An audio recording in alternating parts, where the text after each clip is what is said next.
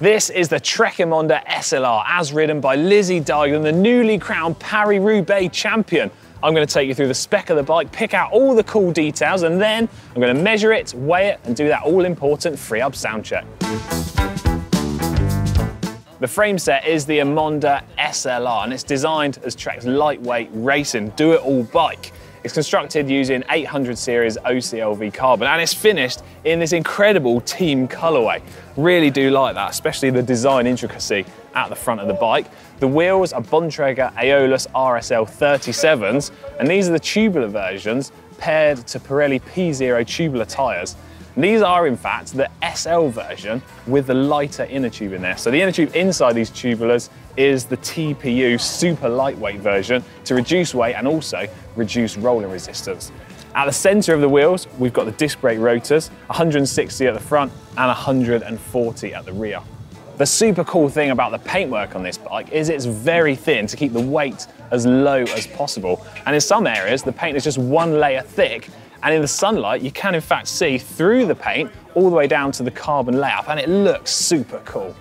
The bike is built up using SRAM's red E-TAP AXS group set, disc brake of course, and is 12 speed. And at the center of the bike, We've got the red chain set, which is using 170 millimeter long carbon crank arms, 50 37 tooth chain rings, which also incorporates the Quarq power meter. The super cool thing about this chain set is that it is machined from one single piece, which reduces the weight and increases the strength. Attached to the crank arms are Shimano Dura Ace pedals, and also just tucked behind the chain set is a neat little chain catcher to try and keep the chain securely in place over bumpy terrain. At the rear of the bike is the cassette. This is a 10 all the way up to a 33 tooth, providing a really wide range of gear suitable for all of the different terrains.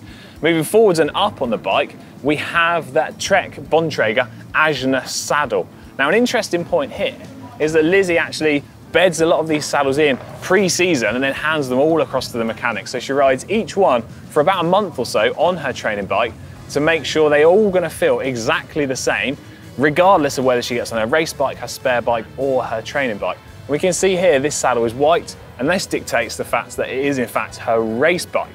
It's 144 millimeters wide.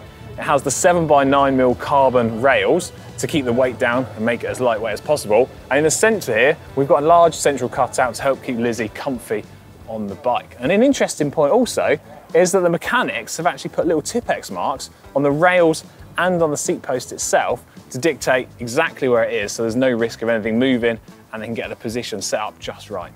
One of the interesting parts about the Emonda frame set is that it has a completely different system at the seat tube area. So the seat tube extends further up from the frame and then the seat post itself sits over the top and it is in fact called a seat mast.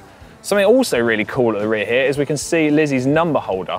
This is a special design purely for the Emonda frame sets which Trek supply to the race teams. It has a small little number holder mount bonded onto the frame in place before the frame is painted. And this is completely different to anything you ever see on a production model, for example.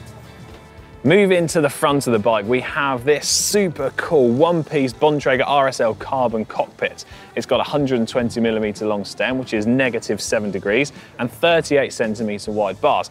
And we've got this super, super fresh white bar tape, again, like I said, dictating the fact that this is Lizzie's race bike.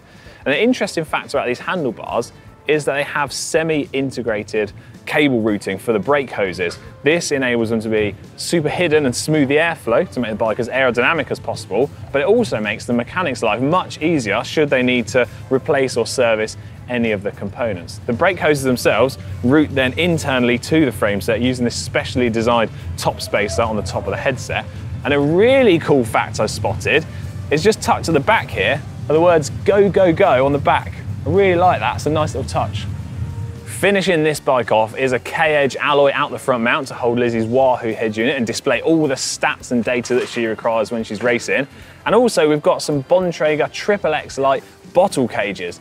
These weigh just 20 grams and are constructed from the same OCLV carbon as what the frame is made out of.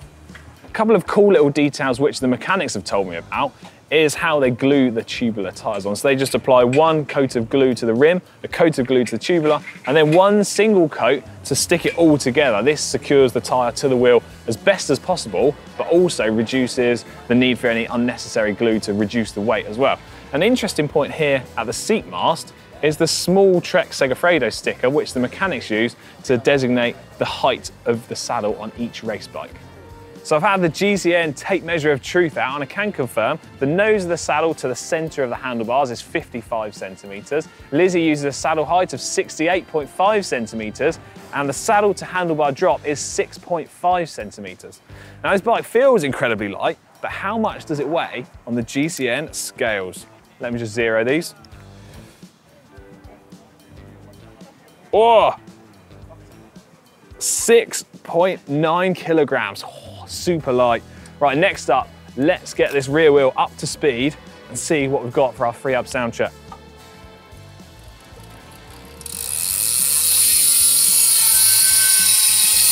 Oh, lovely. So there you have it, the bike of Lizzie Deignan. Hope you enjoyed taking a closer look at it. And if you have and you've got any thoughts on the bike, let me know in the comments section down below. And remember, for all things racing and more pro bikes, subscribe to GCN Racing.